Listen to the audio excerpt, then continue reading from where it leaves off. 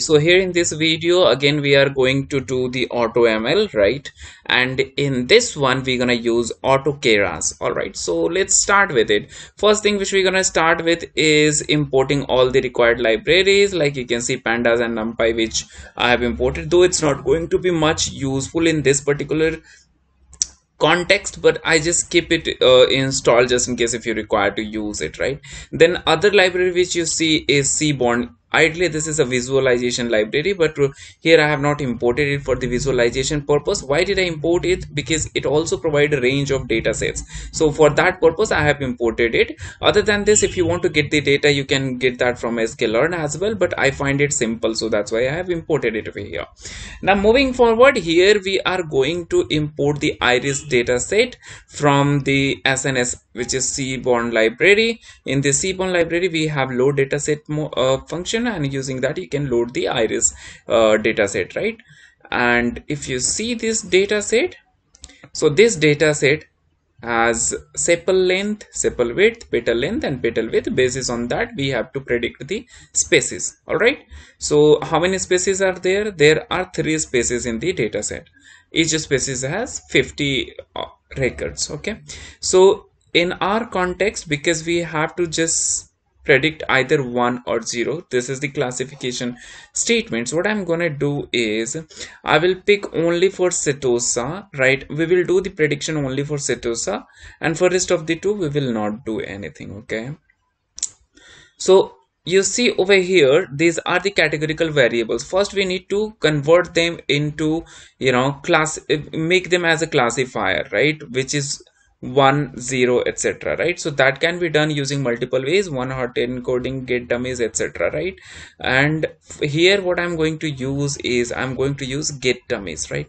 So if you see over here i'm simply using pd.get dummies and into that i'm supplying the column to which i need to convert into 0 and 1 so if you see over here wherever the, this this creates three columns and each of the column would have the value either 0 or 1 setosa has one uh, wherever the record belongs to setosa it would have one. Wherever it does not it will it will say 0 so there is another separate video which i have created basis for the for this one hot encoding itself.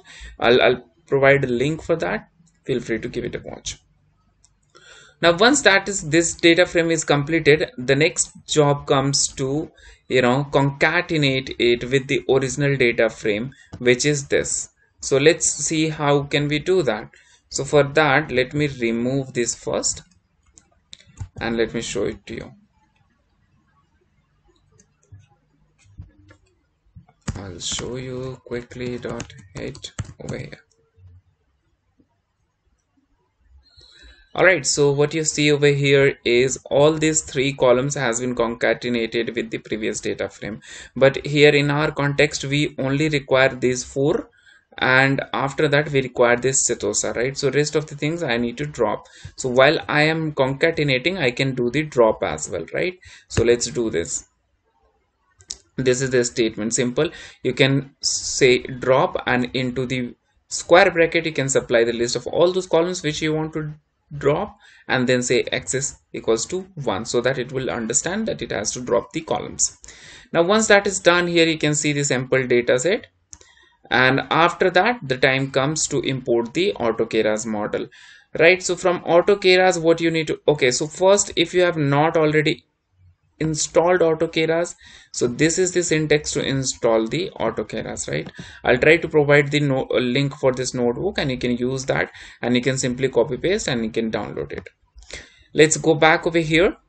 So here what we are doing is here we from autokeras we are importing the structured data classifier this is the mod model which we are going to use.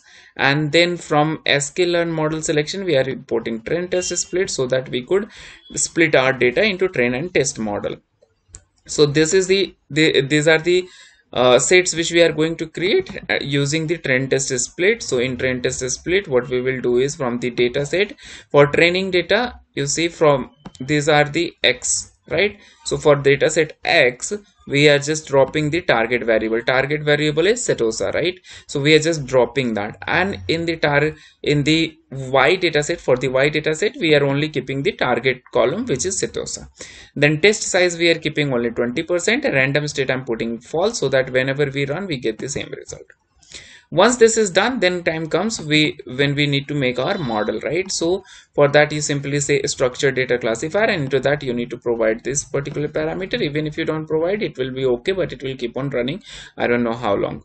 Okay so here i'm just saying that do the maximum trial of 10 only.